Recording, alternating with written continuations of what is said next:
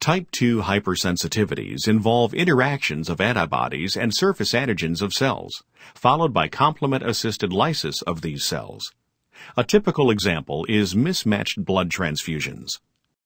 There are four different blood groups, based on types of antigens on the surfaces of the red blood cells. People who are type A have A antigens, and those who are type B have B antigens on the surfaces of their red blood cells. Persons who are type AB have both A and B antigens, and those who are type O have neither A nor B antigens.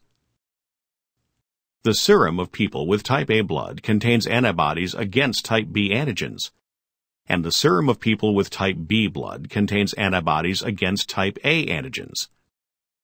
Type AB serum contains neither antibody, and O serum contains antibodies against both A and B antigens.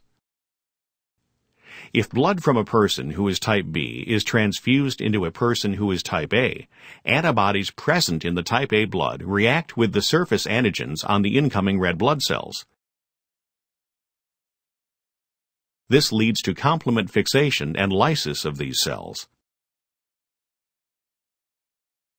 If blood from a person who is type A is transfused into a person who is type B, antibodies present in the type B blood react with the surface antigens on the incoming red blood cells.